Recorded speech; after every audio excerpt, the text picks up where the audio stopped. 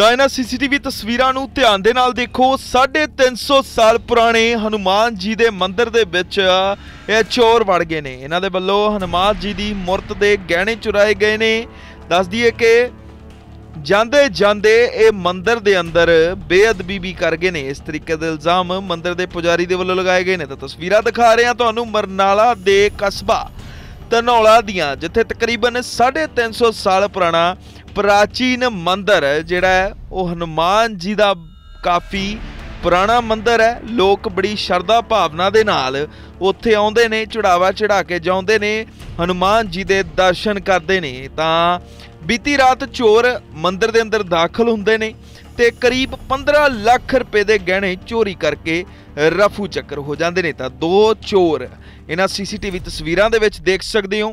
ਕੈਦ ਹੋਏ ਨੇ। ਜਿਸ ਢੰਗ ਦੇ ਨਾਲ ਇਹਨਾਂ ਨੇ ਮੰਦਿਰ ਦੇ ਅੰਦਰ ਇਹ ਵਤੀਰਾ ਕੀਤਾ, ਉਸ ਦੇ ਨਾਲ ਸਾਫ਼-ਸਾਫ਼ ਜ਼ਾਹਿਰ ਹੁੰਦਾ ਹੈ ਕਿ ਇਹਨਾਂ ਦੇ ਵੱਲੋਂ ਬੇਅਦਬੀ ਵੀ ਕੀਤੀ ਗਈ ਹੈ ਤੇ ਹੁਣ ਪੁਲਿਸ ਸੀਸੀਟੀਵੀ ਤਸਵੀਰਾਂ ਦੇ ਨਾਲ ਖੰਗਾਲ ਕਰ ਰਹੀ ਹੈ ਕਿ ਆਖਰਕਾਰ ਚੋਰ ਕਿਹੜੀ ਥਾਂ ਤੋਂ ਮੰਦਿਰ ਦੇ ਅੰਦਰ ਦਾਖਲ ਹੋਏ ਅਤੇ ਇਹਨਾਂ ਦਾ ਠਿਕਾਣਾ ਕੀ ਹੈ? ਤਾਂ ਤਸਵੀਰਾਂ ਦਿਖਾ ਰਹੇ ਹਾਂ ਤੁਹਾਨੂੰ ਬਰਨਾਲਾ ਦੇ ਕਸਬਾ ਧਨੌਲਾ ਦੀਆਂ, ਜਿੱਥੇ ਚੋਰਾਂ ਨੇ ਮੰਦਰ ਨੂੰ ਵੀ ਨਹੀਂ ਬਖਸ਼ਿਆ। ਹਨੂਮਾਨ ਜੀ ਦੀ ਮੂਰਤੀ ਤੋਂ ਗਹਿਣੇ ਲਾ ਕੇ ਲੈ ਗਏ ਨੇ 15 ਲੱਖ ਰੁਪਏ ਦੇ ਗਹਿਣੇ ਚੋਰੀ ਕਰਕੇ ਲੈ ਗਏ ਨੇ। ਕਿਉਂਕਿ ਇਹ ਮੰਦਰ ਤਕਰੀਬਨ 350 ਸਾਲ ਪ੍ਰਾਚੀਨ ਮੰਦਰ ਹੈ।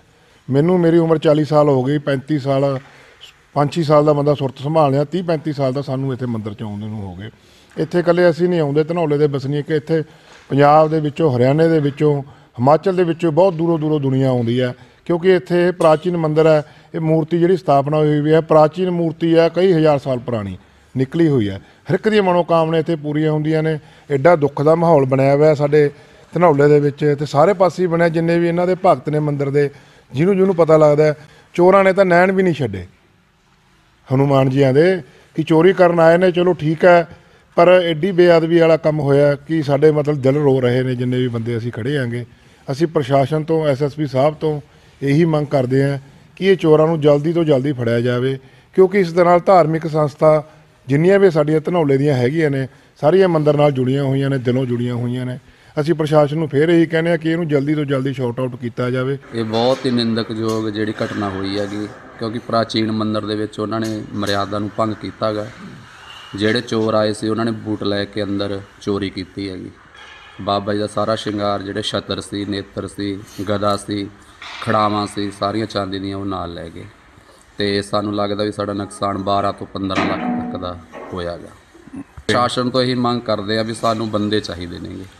ਕਿਉਂਕਿ ਅੱਜ ਇੱਥੇ ਕਰੀਏ, ਕੱਲ੍ਹ ਨੂੰ ਹੋਰ ਵੀ ਧਾਰਮਿਕ ਜਿਹੜੇ ਮੰਦਰ ਨੇ, ਉਹਨਾਂ ਦੇ ਵਿੱਚ ਵੀ ਹੋ ਸਕਦੀ ਹੈ ਕਿਉਂਕਿ ਦੋ ਤਿੰਨ ਦਿਨ ਪਹਿਲਾਂ ਗਊਸ਼ਾਲਾ ਦੇ ਵਿੱਚ ਵੀ ਗੱਲਾ ਚੋਰੀ ਹੋਇਆ, ਸਾਨੂੰ ਉਹਦਾ ਵੀ ਬਹੁਤ ਦੁੱਖ ਆਗਾ ਤੇ ਸਾਡੇ ਜਿਹੜੇ ਸਰਦਾਲੂ ਨੇ ਜਿਹੜੇ ਸਾਡੇ ਸੰਪਰਕ ਵਿੱਚ ਸਾਰਿਆਂ ਨੇ ਇਹੀ ਗੱਲ ਕਹੀ ਆ ਵੀ ਇਹਨਾਂ ਨੂੰ ਪ੍ਰਸ਼ਾਸਨ ਤੋਂ ਇਹੀ ਮੰਗ ਮੰਗੀ ਆ ਵੀ ਇਹਨਾਂ ਨੂੰ ਛੇਤੀ ਤੋਂ ਛੇਤੀ ਫੜਿਆ ਜਾਵੇ ਤੇ ਅੱਗੇ ਤੋਂ ਜਿਹੜੇ ਇਹ ਕਿਸੇ ਵੀ ਮੰਦਿਰ ਦੇ ਵਿੱਚ ਚੋਰੀ ਕਰਨ ਦੀ ਹਿੰਮਤ ਨਾ ਕਰਨ। ਜਿਹੜੀ ਅ, ਹਨੂਮਾਨ ਮੰਦਿਰ ਧਨੌਲਾ ਵਿਖੇ ਚੋਰੀ ਹੋਈ ਆ ਉਹ ਬਹੁਤ ਹੀ ਮੰਦਭਾਗੀ ਘਟਨਾ ਹੈ ਜੀ ਜਿਹਦੇ ਸੰਬੰਧ ਵਿੱਚ ਐਸਐਸਪੀ ਸਾਹਿਬ ਬਰਨਾਲਾ ਦੇ ਵੱਲੋਂ ਜਿਹੜੇ ਸਾਨੂੰ ਨਿਸ਼ਾ ਉਹ ਇਹ ਨੇ ਵੀ ਉਹਦੇ ਵਿੱਚ ਸਾਡੀਆਂ ਟੀਮਾਂ ਦਾ ਗਠਨ ਕੀਤਾ ਗਿਆ ਹੈਗਾ। ਤੇ ਜਿਹੜੀਆਂ ਵੱਖ-ਵੱਖ ਦਿਸ਼ਾਵਾਂ ਦੇ ਵਿੱਚ ਡੂੰਘਾਈ ਦੇ ਨਾਲ ਪੜਤਾਲ ਕਰ ਰਹੀਆਂ ਨੇ, ਜਿਸ ਦੇ ਸੰਬੰਧ, ਜਿਹੜੇ ਸੰਬੰਧ ਦੇ ਵਿੱਚ ਸੀਸੀਟੀਵੀ ਕੈਮਰੇ ਚੰਗੀ ਤਰ੍ਹਾਂ ਖੰਗਾਲੇ ਜਾ ਰਹੇ ਨੇ ਤੇ ਜਿਹੜੀ ਇਹਦੇ ਚੋਰੀ ਹੈਗੀ, ਇਹ ਲੱਖਾਂ ਦੀ ਤਾਦਾਦ ਦੇ ਵਿੱਚ ਹੋਈ ਹੈਗੀ ਤੇ ਜਿਹੜੇ ਉਹਨਾਂ ਨੇ ਬਿਆਨਾਂ ਦੇ ਆਧਾਰ ਤੇ ਹੈਗਾ ਉਹਦੇ ਵਿੱਚ ਦੋ ਬੰਦੇ ਜਿਹੜੇ ਸੀਸੀਟੀਵੀ ਕੈਮਰੇ ਦੀ ਫੁਟੇਜ ਦੇ ਵਿੱਚ ਆ ਰਹੇ ਨੇਗੇ ਜਿਹਦੇ ਸੰਬੰਧ ਵਿੱਚ ਪੜਤਾਲ ਸਾਡੀ ਜਾਰੀ ਹੈਗੀ। ਤੇ ਅੱਗੇ ਆ ਜਿਹੜੀ ਉਹ ਪੜਤਾਲ ਡੂੰਘਾਈ ਦੇ ਨਾਲ ਕੀ- ਕਰਕੇ ਅੱਗੇ ਆ ਕਾਰਵਾਈ ਅਮਲ ਦੇ ਵਿੱਚ ਲਿਆਂਦੀ ਜਾ ਰਹੀ ਹੈ। ਉਹਦੇ ਵਿੱਚ ਚੋਰਾਂ ਵੱਲੋਂ ਸਤਰ ਨੇ ਕੁਛ ਤਾਂ ਤੇ ਚਾਂਦੀ ਦੇ ਸਤਰ ਨੇਗੇ ਜਿਹੜੇ ਹੈਗੇ ਨੇਗੇ ਤੇ ਕੁਝ ਸਿਆਉਣੇ ਦੇ ਨੇਤਰ ਨੇਗੇ